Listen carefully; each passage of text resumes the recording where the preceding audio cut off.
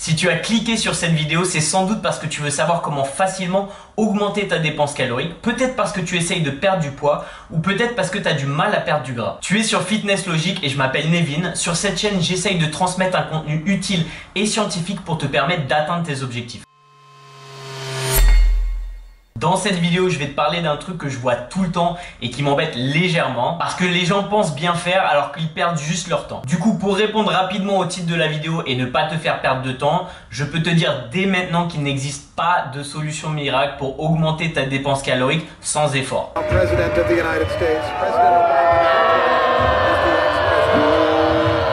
Je sais que c'est difficile à accepter parce que tu dois te battre contre la facilité, parce que d'une part, tu dois te confronter à la résistance au changement, et d'autre part, tu dois questionner tes habitudes. En effet, le cerveau privilégie une zone de confort qui nécessite peu d'énergie. Il est plus simple pour lui d'utiliser des connexions existantes plutôt que d'en créer de nouvelles. Donc pour combattre la facilité, c'est aller à l'encontre de ces automatismes. Mais si tu restes avec moi jusqu'à la fin de cette vidéo, je te donnerai quand même une astuce pour t'aider à atteindre tes objectifs. Oui, oui, oui, oui, oui. J'imagine que tu as déjà mis tes pieds dans une salle de sport. Donc soit tu es comme moi, c'est-à-dire que tu évites de croiser le regard de l'espace cardio parce que tu sais qu'il va te demander un truc. Well, hello there. Who are you? Soit tu sais même pas où sont les haltères parce que tu veux pas te mélanger avec ces animaux. Soit tu es un compétiteur et tu sais même plus où tu passes le plus de temps. D'ailleurs, dis-moi en commentaire si tu es plutôt cardio ou pas et si c'est le cas, comment tu l'implémentes dans ta programmation, ça m'intéresse vraiment. Et puis démonte-moi ce pouce bleu tant que tu y es, ça fait de mal à personne. Bref, est-ce que tu as déjà vu ce genre de personnage à la salle? Pourquoi? Pourquoi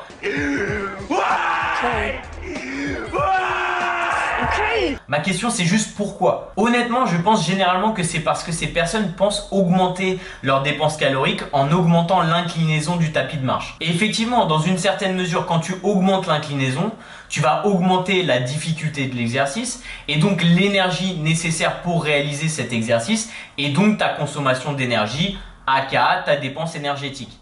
Je vais vous montrer la technique secrète en vidéo pour que vous puissiez comprendre de quoi je veux parler. Donc euh, je choisis l'entraînement voulu, euh, donc c'est de la marche à pied sur un tapis de course évidemment. J'attends que ça se lance.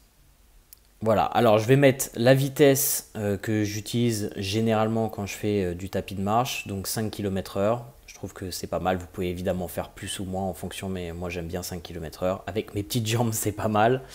Euh, donc comme vous pouvez le voir, euh, avec cette inclinaison, c'est 264 calories par heure.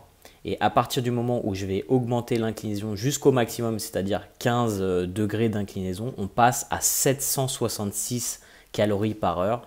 Ça fait un delta de 502 calories, donc une augmentation de 200% et ça vous fait dépenser trois fois plus de calories que si vous le faisiez sans inclinaison. Le problème, c'est qu'à partir du moment où tu viens te tenir sur la machine, l'inclinaison disparaît parce que ton corps va prendre la position la plus facile pour réaliser l'exercice. Et donc, tu te mens à toi-même en pensant que l'exercice est plus difficile. Je vais m'utiliser comme cobaye pour imager mes propos. Euh, comme vous pouvez le voir, j'utilise le tapis de course sans inclinaison avec euh, une marche à 5 km h Je passe ensuite avec une inclinaison et comme vous pouvez voir, mon corps va se positionner de manière perpendiculaire au tapis et je peux maintenir cette position parce que je me tiens. Si euh, je réalise l'exercice euh, sans me tenir, vous pouvez voir que l'exercice est beaucoup plus difficile et que mon corps euh, va prendre une position perpendiculaire, voire un peu inclinée par rapport au sol et donc à la gravité. Vous pouvez voir la différence entre les deux inclinaisons, entre quand je me tiens et quand je réalise l'exercice de manière difficile. J'irai même plus loin en disant que parce que tu te tiens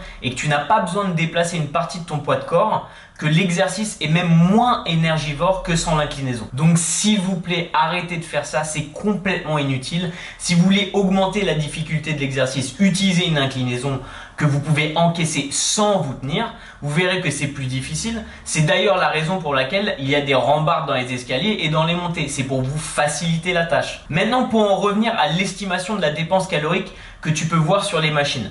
Même si tu rentres ton âge et ton poids, tu peux pas vraiment te fier à ces chiffres en termes de valeur absolue. Ceci dit, si tu utilises la même machine avec les mêmes paramètres, ça peut te donner une idée de l'effort fourni. Si tu prépares une compétition, tu peux juger l'effort en fonction des calories dépensées.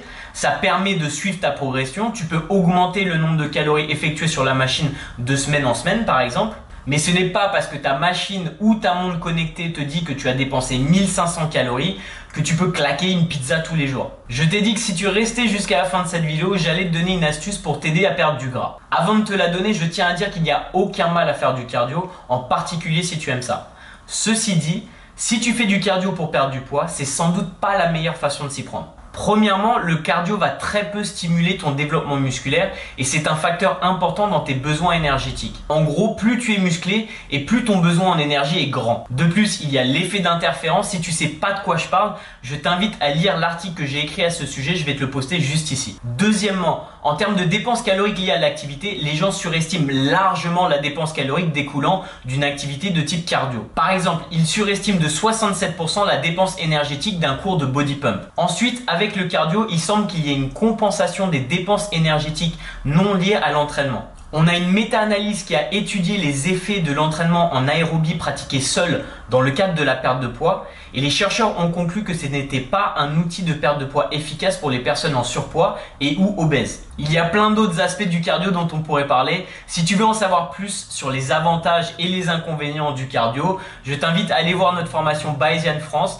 C'est un sujet qui est abordé en long, en large et en travers. De plus, le cardio souffre de réduction des dépenses énergétiques par compensation, contrairement à la musculation, et il stimule davantage l'appétit. À cause de ces différents points, la musculation est souvent un meilleur choix que le cardio pour la perte de graisse. Donc si vous essayez de perdre du gras et que vous faites pas encore de musculation, je vous conseille d'essayer pour obtenir de meilleurs résultats. La réalité, c'est que pour la perte de poids, le cardio n'est sans doute pas la meilleure méthode. J'espère que cette vidéo vous a plu. Si c'est le cas, abonnez-vous. Appuyez sur la cloche des notifications pour savoir quand je sors une nouvelle vidéo. Laissez-moi un commentaire, posez vos questions et moi je vous retrouve dans la prochaine. Ciao